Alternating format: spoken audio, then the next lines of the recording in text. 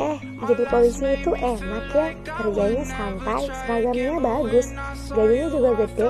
Ini nih yang sering ada di pikiran orang-orang yang cuma bisa lihat hasilnya doang. Lo nggak tahu kan gimana sakitnya mereka berjuang dulu, jatuh bangun demi mendapatkan seragam yang lo bilang bagus.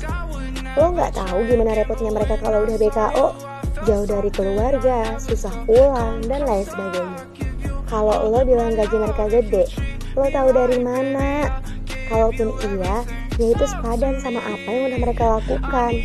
Di dunia ini gak ada yang instan, semua butuh proses. Mungkin yang lo lihat sekarang cuma hasilnya doang, tapi lo gak tahu prosesnya gimana kan? Lo juga mungkin gak tahu betapa banyak resiko yang harus mereka tanggung kalau lagi tugas. Kalau lo lihat sekarang mereka enak, ya itu wajar.